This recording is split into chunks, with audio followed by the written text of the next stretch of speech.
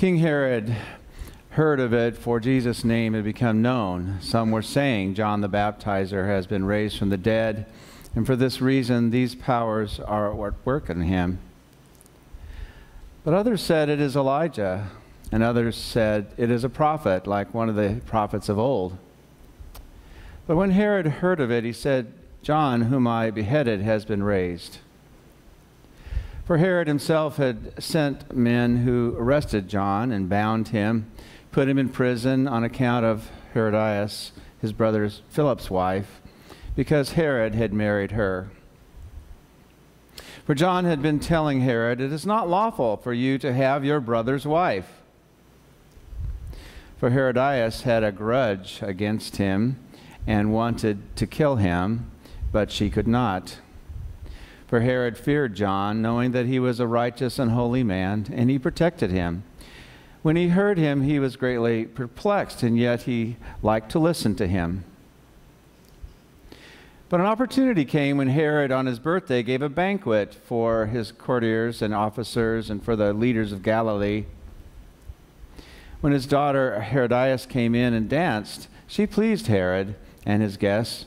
And the king said to the girl, Ask me for whatever you wish, and I will give it.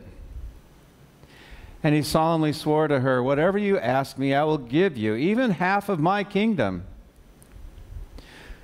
She went out and said to her mother, What should I ask for? She replied, The head of John the Baptizer.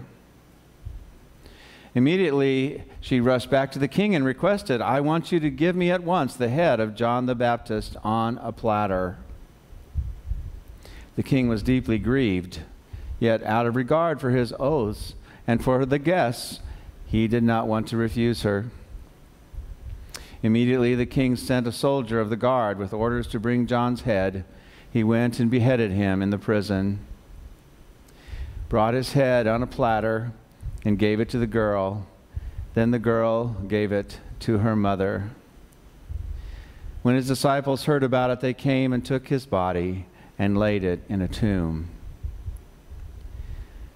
May God bless this reading to our understanding. You may be seated.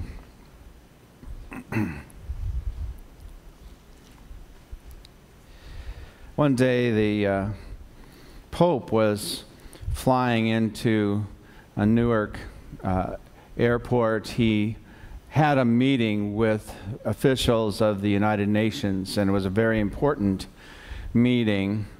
Uh, the plane was delayed. It was one of those times, you know, weather related, they couldn't get the plane down, get it uh, at its regular uh, scheduled uh, arrival.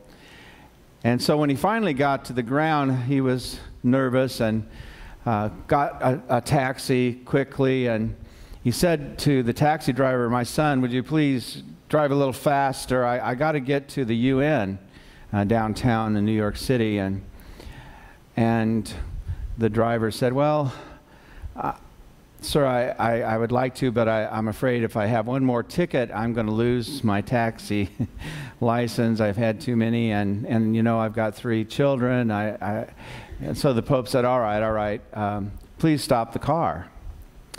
And so the taxi driver stopped, and Pope got out and went over and had him scoot over so he could drive. So the Pope started driving and was driving really fast and swerving around cars and so forth.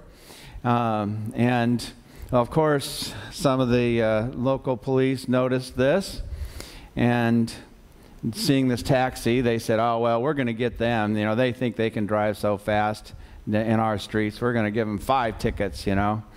And so this officer came up to the to the car after flagging him down and the lights and all. And, uh, well, nothing happened.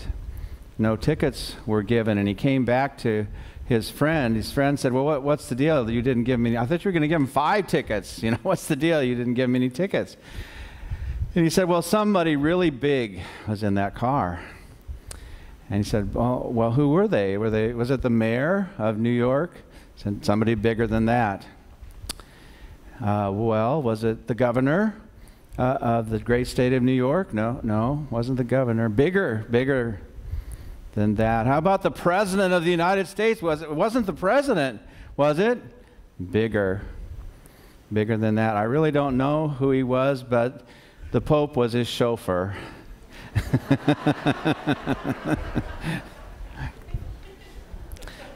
Somebody really big. You know, uh, God is bigger, right, than anything and anyone uh, in the world. I know that uh, friends of mine shy away from this story, and I bet there aren't many preachers that are even going to talk about this today because it's uncomfortable. Um, and it deals with our sin.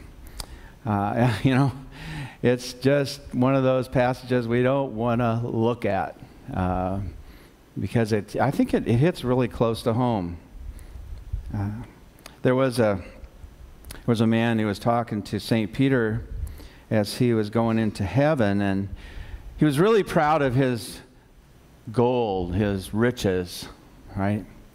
And he wanted to bring some gold to heaven. And they said, all, all right, you can, you can bring some. So they brought a couple suitcases of gold and set them down. And one of the other angels said, uh, So why did you bring street material? the things we think are so wonderful in this place, are they really the things we need?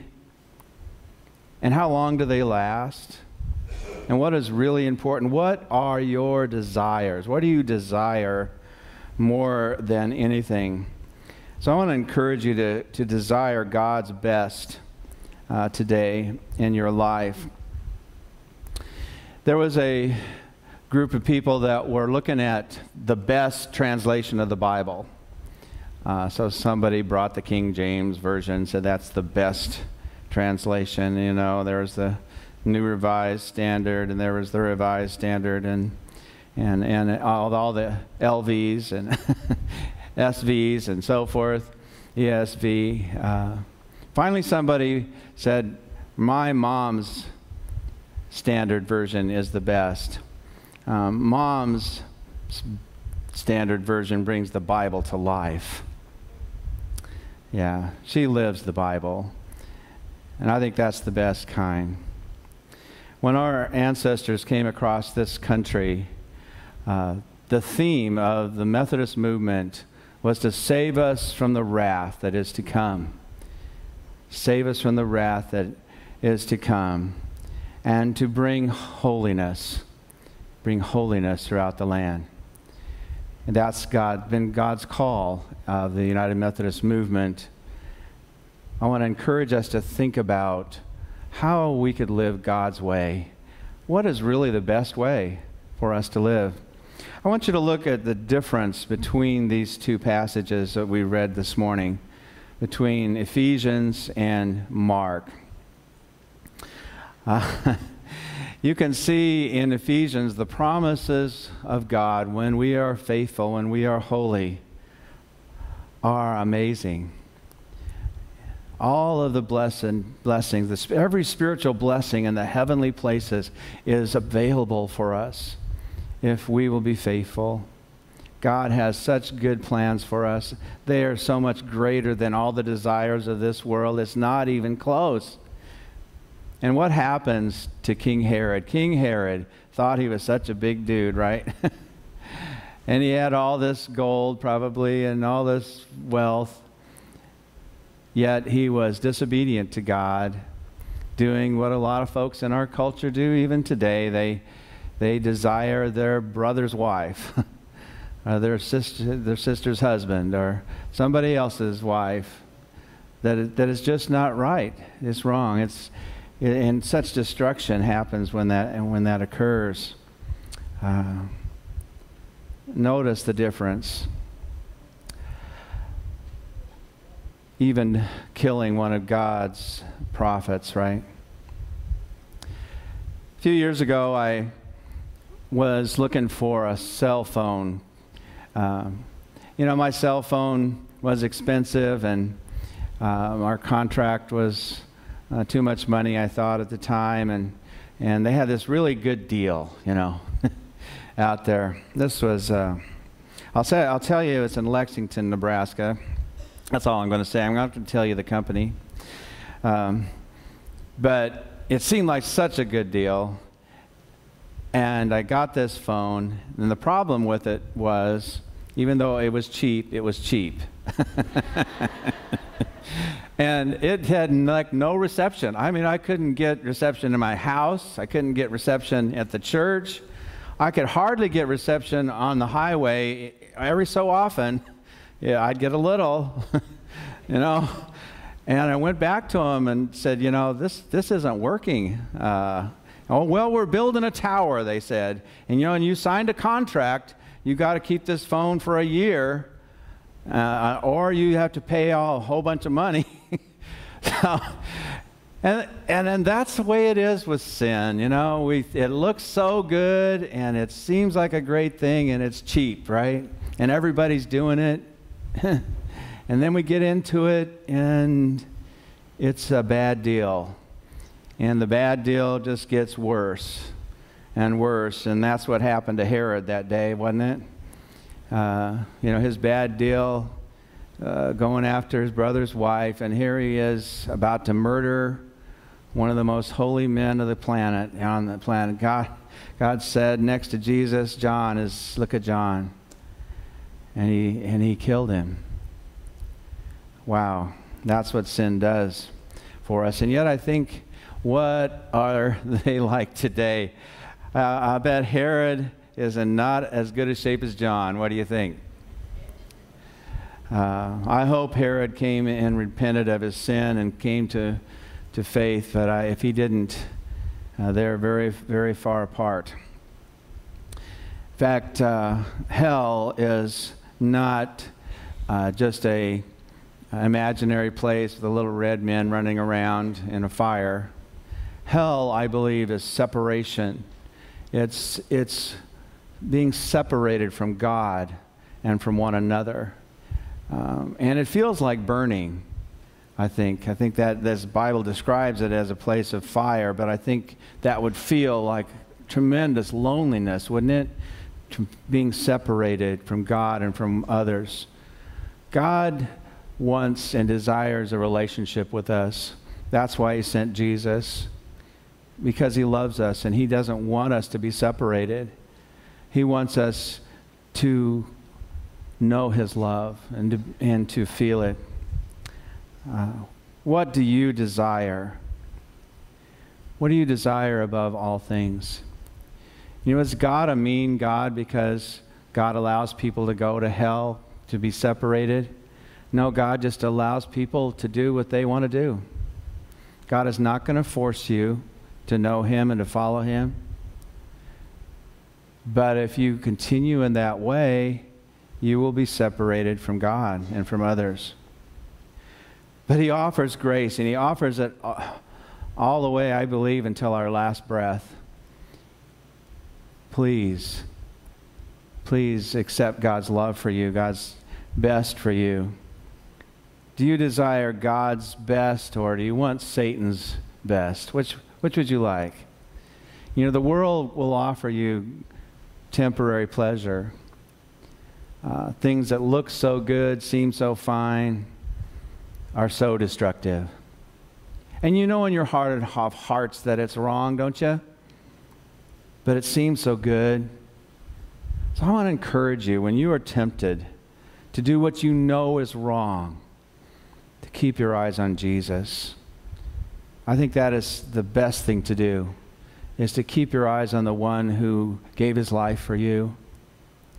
If you can pick, I think it helps me to picture my get my picture of Jesus. Who what does Jesus look like for you? Get your picture of Jesus and whenever you are tempted, get your eyes on Jesus and pray, Lord, help. Just help me. I want you. I want you more than that thing, more than that destructive way that I'm just about to, to, to fall into. I want you more.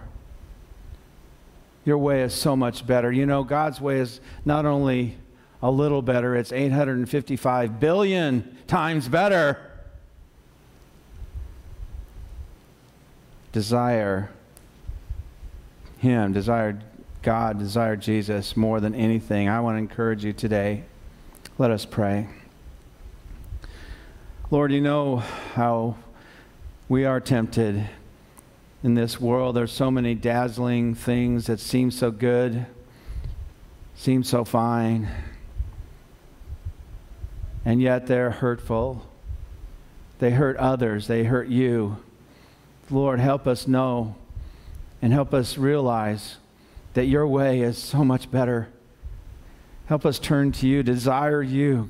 Give us a heart for you, God, a heart for your way, for your life, that you created us to live from the beginning of time.